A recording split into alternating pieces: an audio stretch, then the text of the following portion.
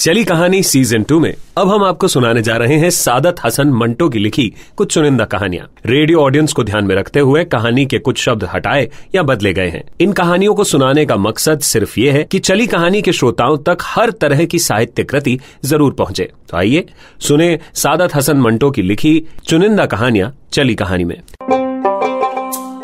चली चली, चले चले चले चले कहानी। चले कहानी। रेडियो सिटी पर आप सुन रहे हैं चली कहानी सीज़न टू। मैं हूँ कहानी वाला रजत। और इस सीज़न में हम आपको सुना रहे हैं दुनिया के अलग अलग जगहों से आने वाले महान साहित्यकारों की लिखी कुछ अलग अलग तरह की रचनाएँ। जैसे हमने कहानी सुनी एंडोन चेखोव की लिखी गई, जो रशिया के एक महान साहित्यकार थे। फिर हमने सुनी ओ. हेनरी की लिखी कुछ कहानियाँ। और अब मैं आपको ले जा रहा हूँ कहानियाँ सुनाने सादत हसन मंटो के पास। यानी सादत हसन मंटो साहब की लिखी कुछ ऐसी कहानियाँ जिन्होंने उस वक्त में काफ़ी कंट्रोवर्सी क्रिएट की थी, काफ़ी विवाद बने थे, लेकिन देर सवेर दुनिया और समाज ने माना कि मंटो वाकई वो लिख रहे थे जो समाज में हो रहा था। बस पढ़ने के लिए एक बड़े दिल की ज़रूरत थी। आज की कहानी में उन्होंने कई चीज़ें ऐसी लिखी हैं जो उस वक्त के दौर में तो वाकई विवादास्पद रही होंगी। लेकिन आज इस कहानी को अगर कहानी के अंदाज से पढ़ा जाए तो मालूम होता है कि ये एक मज़ेदार कहानी थी, जिससे उम्मीद सिर्फ़ इतनी है कि आपके चेहरे पर एक सवाल और एक मुस्कुराहट छोड़ जाए। कहानी का नाम है पढ़िए कलिमा। ला इल्लल्लाह मोहम्मद रसूल अल्लाह आप मुसलमान हैं? यकीन करें, मैं जो कुछ कहूँगा, सच कहूँगा। अजी, पाकिस्तान का इस मामले में कोई ताल्लुक नहीं है। कायदे आज़म जिन्ना के लिए मैं जान देने के लिए तैयार हूँ। लेकिन मैं सच कहता हूँ, इस मामले में पाकिस्तान का कोई ताल्लुक नहीं। आप इतनी जल्दी ना कीजिए। मैं मानता हूँ। अजी, इन दिनों हुल्लड़ के जमाने में आपको फुर्सत नहीं। लेकिन आप खुदा के लिए मेरी पूरी बात तो सुन लीजिए। मैंने तुकाराम को ज़रूर मारा है। और जैसा आप कहते हैं कि तेज छुरी से उसका पेट फाड़ दिया, मगर इसलिए नहीं कि वो गैर मज़हब का था। अब आप पूछेंगे कि तुमने इसलिए नहीं मारा तो फिर किस लिए मारा? लीजिए, मैं सारी दास्तान ही आपको सुना देता हूँ, जनाब। किस काफिर को मालूम था कि मैं इस लफड़े में फंस जाऊँगा? पिछले हिंदू मुस्लिम दंगे में मैंने कईयों को मारा था, लेकिन आप यकीन मानिए, वो मारना कुछ और है, और ये मारना कुछ और। खैर, आप सुनिए कि हुआ क्या। मैंने तुकाराम को क्यों मारा?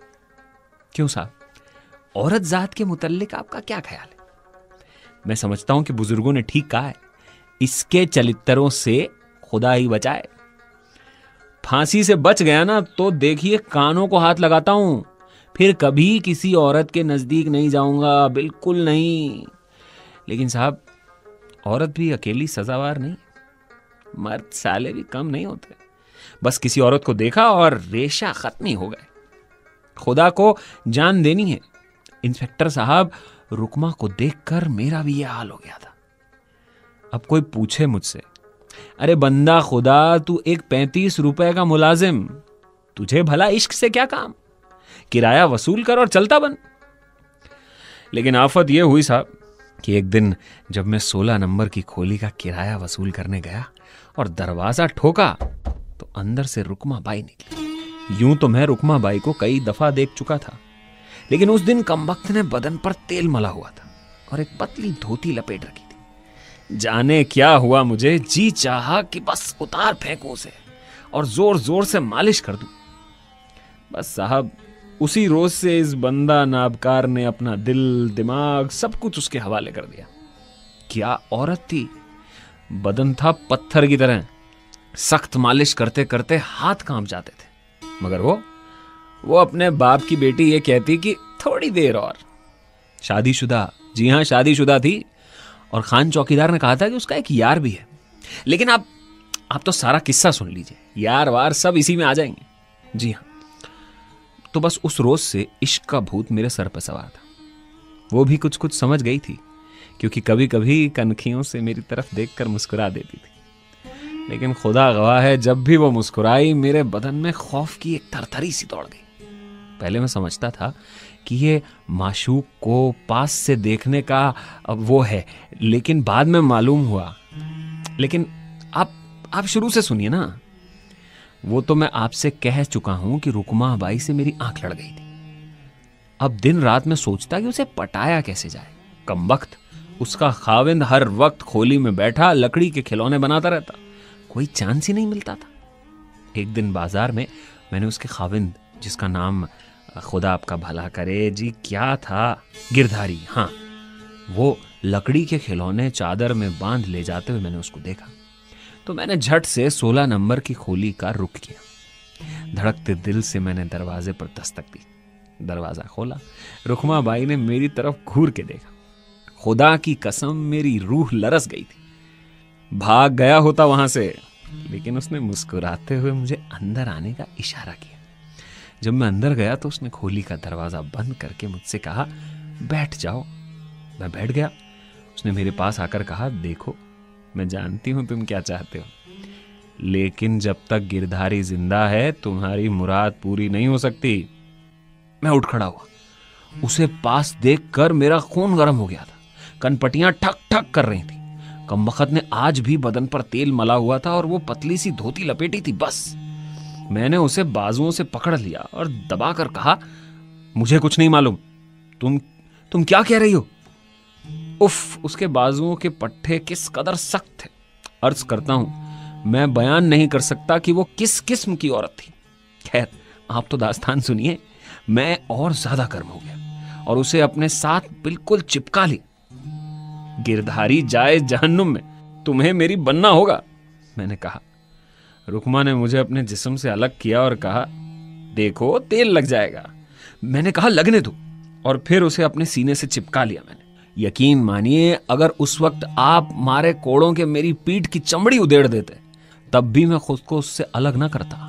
लेकिन कमबख्त ने ऐसा पुचकारा कि जहाँ उसने मुझे पहले बिठाया था, खामोश होकर वहीं बैठ गया। मुझे मालूम था वो क्या सोच रही है? गिरधारी साला बाहर है तो डर किस बात का है? थोड़ी देर के बाद मुझसे रहा ना गया तो मैंने उससे कहा, रुकमा, ऐसा अच्छा मौका फिर कभी नहीं मिलेगा। उसने बड़े प्यार से मेरे सर पे हाथ फेरा और मुस्कुराकर कहा, इससे भी अच्छा मौका मिलेगा, लेकिन तुम ये बताओ, जो कुछ मैं कहूँगी करोगे? साहिब, मेरे सर पे तो भूत सवार था। मैंने जोश में आकर जवाब दिया, तुम्हारे लिए मैं पंद्रह आदमी कत्ल करने को तैयार हूँ। ये सुनकर वो मुस्कुराई। मुझे भरोसा है। खुदा की कसम, एक बार फिर से मेरी रूह लरस गई थी। लेकिन मैंने सोचा शायद ज़्यादा जोश आने पर मैंने ऐसा कुछ बोल दिया है। खैर, बस वहाँ मैं थोड़ी देर और बैठा। प्यार और मोहब्बत की बातें की, उसके हाथ के बने भजिए खाए और चुपके से बाहर निकल आया। तो वो सिलसिला हो ना पाया। लेकिन साहब, ऐसे सिलसिले पहले ही दिन थोड़े होते हैं। मैंने सोचा फिर कभी और सही। दस दिन गुजरे।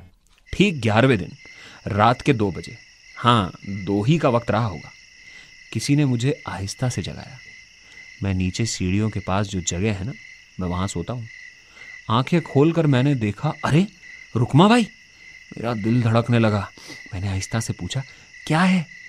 उसने हौले से कहा, आओ मेरे साथ। मैं नंगे पाँव उसके साथ हो लिया। मैंने और कुछ न सोचा और वहीं खड़े खड़े उसको सीने से लगाने की कोशिश करी। उसने मेरे कान में कहा, अभी ठहरो। और फिर बत्ती रोशन की। मेरी आँखें चौंधी आ गई। थोड़ी देर बाद मैंने देखा कि सामने चटाई पर कोई सो रहा है। मुँह पर कपड़ा है। मैंने इशारे से पूछा, ये क्या? रुकमा ने कहा, बैठ जाओ। मैं उल्लू की तरह बैठ गया। वो मेरे पास आई और बड़े प्यार से मेरे सर पर हाथ फेर कर उसने ऐसी बात कही कि सुनकर मेरे औसान खता हो गए। बिल्कुल बर्फ़ हो गया मैं। साहब, काटो तो लहू नहीं बदन में। जानते हैं जानते हैं रुकमा ने मुझसे क्या कहा? मैंने अपनी ज़िंदगी में ऐसी औरत नहीं देखी थी। कम ने मुस्कुराते हुए मुझे कहा कि मैंने गिरधारी को मार डाला है।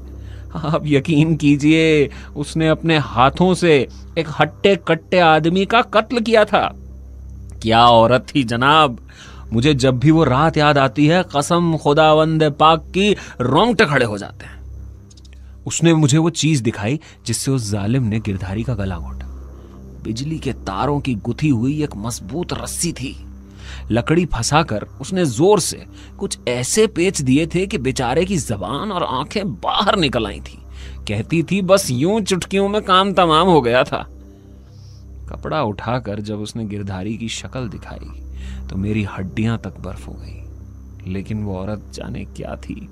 वहीं लाश के सामने उसने मुझे अपने साथ लिपटा लिया। अजी कुरान की कसम, मेरा ख्याल था कि सारी उम्र के लिए मैं नामर्द हो गया हूँ। मगर साहब, जब उसका गर्म गर्म बदन मेरे बदन के साथ लगा तो उसने एक अजीब व करीब किस्म का प्यार किया। तो अल्लाह जानता है, चौदह तबक रोशन हो गए थे। ज़िंदगी भर वो रात मुझे याद रहेगी। सामने लाश पड़ी थी, लेकिन रुकमा और मैं दोनों उससे गाफिल एक दूसरे के अंदर धसे हुए थे। सुबह हुई तो हम दोनों ने मिलकर गिरधारी की लाश के तीन टुकड़े किए। औज़ार उसके पास मौजूद थे। इसीलिए ज़्यादा तकलीफ़ नहीं हुई। ठक ठक काफ़ी हुई थी, पर लोगों ने समझा होगा गिरदारी खिलौने बना रहा है। आप पूछेंगे, बंदा है खुदा, तुमने ऐसे घिनौने काम में क्यों हिस्सा लिया? पुलिस में रपट क्यों नहीं लिखवाई? हाजी साहब, अर्ज़ ये है कि इस कमबख्त ने मुझे एक ही रात में अपना गुलाम बना लिया था। अगर वो मुझसे कहती तो शायद मैंने पंद्रह आदमियों का खून भी कर दिया होता। याद है ना, मैंने एक दोस्त उससे जोश में आकर वो कह दिया था। अब मुसीबत ये थी कि लाश को ठिकाने कैसे लगाया जाए? रुकमा कुछ भी हो, आखिर औरत जात थी। मैंने उससे कहा, जाने मन तुम फ़िक्र ना करो। फ़िलहाल इन टुकड़ों को ट्रंक में बंद कर देते हैं। जब रात आएगी तो मैं उठाकर ले जाऊँगा। अब खुदा का ऐसा करना हुआ, साहब, कि उसी रोज दंगा हुआ। पाँच छह इलाकों में खूब मारामारी हुई। गवर्नमेंट ने 36 घंटे का कर्फ्यू लगा दिया। मैंने कहा, अब्दुल करीम, कुछ भी हो, लाश आज ही ठिकाने लगा दो। तो चुनाचे दो बजे उठा, ऊपर से ट्रंक लिया। खुदा की पनाह कितना वज़न था। मुझे डर था, रास्ते में कोई पीली पकड़ी वाला ज़रूर मिलेगा और कर्फ्यू ऑर्डर की खिलाफ वर्जी में मुझे धर पकड़ेगा। मगर साहब, जिसे अल्लाह रखे, उसे कौन चखे? जिस बाज़ार से गुजरा, उसमें सन्नाटा था। एक जगह बाज़ार के पास मुझे एक छोटी सी मस्जिद नज़र आई। मैंने ट्रंक खोला और लाश के टुकड़े निकलवा कर अंदर ड्योढ़ी में डाल दिए और वापस चला गया। कुर्बान उस कुदरत की कि सुबह पता चला, दंगे में उसी मस्जिद को आग लगा दी गई थी। मेरा ख्याल है गिरधारी उसी के साथ जलकर राख हो गया होगा। क्योंकि अखबारों में किसी लाश का ज़िक्र नहीं आया। अब साहब, बकौल शख्स से मैदान खाली था। मैंने रुकमा से कहा कि मशहूर कर दो कि गिरदारी बाहर काम करने के लिए गया है। मैं रात को ढाई बजे आ जाया करूँगा। ऐश करेंगे। मगर उसने कहा, नहीं अब्दुल, इतनी जल्दी नहीं। अभी हमको कम से कम पंद्रह बीस रोज तो नहीं मिलना चाहिए। बात माकूल थी, इसलिए मैं खामोश रहा। सत्रह रोज गुजर गए। कई बार डरावने ख्वाबों में गिरधारी आया। लेकिन मैंने कहा, साले मर खप चुका है, अब क्यों परेशान करता है? और अब मेरा क्या बिगाड़ सकता है तू? अट्ठारहवीं रोज साहब मैं इसी तरह सीढ़ियों के पास चारपाई पर सो रहा था कि रुकमा रात के बारह बजे। बारह नहीं तो एक रहा होगा। आई और मुझे ऊपर ले गई। चटाई पर लेट कर उसने मुझसे कहा, अब्दुल, मेरा बदन दुख रहा है, जरा चंपी कर दो। मैंने फ़ौरन तेल लिया और मालिश करने लगा। लेकिन आधे घंटे में हाफने लगा। मेरे पसीने की बूंदें उसके चिकने बदन पर गिर रही थी। लेकिन इसने ये ना कहा कि बस करो अब्दुल, तुम थक गए होगे। आखिर मुझे ही कहना पड़ा। रुकमा भाई, अब अब खलास, वो मुस्कुराई। पर मेरे खुदा, क्या मुस्कुराहट थी। थोड़ी देर दम लेकर मैं चटाई पर बैठ गया। उसने उठकर बत्ती बुझाई और मेरे साथ लेट गई। चंपी करके मैं इस कदर थक गया था कि किसी चीज़ का होश न रहा। रुकमा के सीने पर हाथ रखा और सो गया। जाने क्या वजह था? मैं एकदम हड़बड़ा के उठा। तो गर्दन में एक सख्त सी चीज़ धसी हुई थी। फ़ौरन मुझे उस तार वाली रस्सी का ख्याल आया। लेकिन इससे पहले कि मैं अपने आप को छुड़ाने की कोशिश कर सकूँ, रुकमा मेरी छाती पर चढ़ बैठी। एक दो ऐसे मरोड़े दिए कि मेरी गर्दन कड़कड़ बोल उठी। मैंने शोर मचाना चाहा, लेकिन आवाज़ मेरे पेट में ही रह गई। इसके बाद मैं बेहोश हो गया। मेरा ख्याल है चार बजे होंगे जनाब। आहिस्ता आहिस्ता मुझे होश आना शुरू हुआ। गर्दन में बहुत ज़ोर का दर्द था। मैं वैसे ही दम साधे पड़ा रहा और हौले हौले हाथ से रस्सी के मरोड़े खोलने शुरू किए। एकदम आवाज़ें आने लगी तो मैंने सांस रोक लिया। कमरे में घुप अंधेरा था। आँखें फाड़ फाड़ कर देखने की कोशिश की, पर कुछ नज़र ना आया। जो आवाज़ें आ रही थी, उनसे मालूम हो रहा था कि दो आदमी कुश्ती लड़ रहे हैं। रुकमा हाँफ रही थी। हाँफते हाँफते उसने कहा तुकाराम, बत्ती जला दो। तुकाराम ने डरते हुए लहजे में कहा, नहीं नहीं, रुकमा, नहीं नहीं। रुकमा बोली, बड़े डरपोक हो। सुबह इसके तीन टुकड़े करके ले जाओगे कैसे? मेरा बदन बिल्कुल ठंडा हो गया। तुकाराम ने क्या जवाब दिया? रुकमा ने फिर क्या कहा? इसका मुझे कोई होश नहीं। पता नहीं कब एकदम रोशनी हुई और मैं आँखें झपकता उठ बैठा। तुकाराम ने मुँह से ज़ोर की चीख निकाली और वो दरवाज़ा खोलकर भाग गया। रुकमा ने जल्द से किवाड़ बंद किए और कुंडी चढ़ा दी। साहब, मैं आपसे क्या बयां करूँ? मेरी क्या हालत थी? आँखें खुली थी, देख रहा था, सुन रहा था, लेकिन हिलने डुलने की बिल्कुल शक्ति नहीं थी। ये तुकाराम मेरे लिए कोई नया आदमी नहीं था। हमारी चाली में अक्सर आम बेचने आया करता था। रुकमा ने उसको कैसे फंसाया, इसका मुझे इल्म नहीं। रुकमा मेरी तरफ़ घूर घूर के देख रही थी, जैसे उसको अपनी आँखों पर यकीन नहीं। वो मुझे मार चुकी थी लेकिन मैं उसके सामने ज़िंदा बैठा था। खैर, वह मुझ पर झपटने को थी कि दरवाजे पर दस्तक हुई और बहुत से आदमियों की आवाज़ें आई। रुकमा ने झट से मेरा बाजू पकड़ा और घसीट कर मुझे गुसलखाने के अंदर डाल दिया। इसके बाद उसने दरवाज़ा खोला। पड़ोस के आदमी थे। उन्होंने रुकमा से पूछा, खैरियत है? अभी अभी हमने चीख की आवाज़ सुनी थी? रुकमा ने जवाब दिया, सब खैरियत है। मुझे सोते में चलने की आदत है। दरवाज़ा खोलकर बाहर निकली तो दीवार से टकरा गई और डर के मारे मुँह से चीख निकल गई। पड़ोस के आदमी ये सुनकर चले गए। रुकमा ने किवाड़ बंद किए और कुंडी चढ़ा दी। अब मुझे अपनी जान की फ़िक्र हुई। आप यकीन मानिए, ये सोचकर कि वो जालिम अब मुझे ज़िंदा नहीं छोड़ेगी। एकदम मेरे अंदर मुकाबले की बेपनाह ताकत आ गई थी। बल्कि मैंने इरादा कर लिया कि रुकमा के टुकड़े टुकड़े कर दूँगा। गुसलखाने से बाहर निकला। तो देखा कि वो बड़ी खिड़की के पट खोले बाहर झाँक रही। मैं एकदम लपका। उसको पीछे से ऊपर उठाया और बाहर धकेल दिया। यूँ यूँ सब चुटकियों में हुआ। धुप सी आवाज़ आई और मैं दरवाज़ा खोलकर नीचे उतर गया। सारी रात में चारपाई पर लेटा अपनी गर्दन पर, जो बहुत बुरी तरह से जख्मी हो रही थी। आप आप देख रहे हैं ना ये निशान? तेल मल रहा था। ये सोच रहा था कि किसी को पता नहीं चलेगा। उसने पड़ोसियों से कहा था कि उसे सोते में चलने की आदत है। मकान के उस तरफ़ जहाँ मैंने उसे गिराया था, जब उसकी लाश देखी जाएगी तो लोग यही समझेंगे कि सोते में चली है और खिड़की से बाहर गिर पड़ी। खुदा खुदा करके सुबह हुई। गर्दन पर मैंने रुमाल बाँध लिया ताकि जख्म ना दिखे। नौ बज गए, बारह हो गए होंगे, मगर रुकमा की लाश की कोई बात ही नहीं हुई। जिधर मैंने उसको गिराया था, उधर एक तंग गली है। दो बिल्डिंगों के दरमियान दो तरफ़ से दरवाजे हैं ताकि लोग अंदर दाखिल होकर पेशाब पखाना न कर सकें। फिर भी दो बिल्डिंगों की खिड़कियों में से फेंका हुआ कचरा काफ़ी जमा हो जाता है, जो हर रोज सवेरे सफ़ाई करने वाले उठा ले जाते हैं। मैंने सोचा, शायद कोई सफ़ाई करने वाली आई नहीं। आई होती तो उसने दरवाज़ा खोलते ही रुकमा की लाश देखी होती और शोर बर्पा कर दिया होता। किस्सा किया था। मैं चाहता था कि लोगों को जल्द इस बात का पता चल जाए। दो बज गए तो मैंने जी कड़ा करके खुद ही दरवाज़ा खोला। न लाश थी, न कचरा। अजी साहब, क्या बताऊँ, रुकमा कहाँ गई? कुरान की कसम खाकर कहता हूँ, मुझे इस फांसी के फंदे से बच निकलने का इतना ताज्जुब नहीं होगा जितना रुकमा के गायब हो जाने का है। तीसरी मंजिल से मैंने उसे गिराया था, पत्थर के फर्श पर। अजी, बची कैसे होगी? लेकिन फिर सवाल यह कि उसकी लाश कौन उठा कर ले गया? अकल नहीं मानती, लेकिन साहब, कुछ पता नहीं। वो डायन ज़िंदा हो तो? चाली में तो यही मशहूर है कि या तो किसी मुसलमान ने घर डाल लिया है या मार डाला है। अजी, मार डाला है तो अच्छा किया है।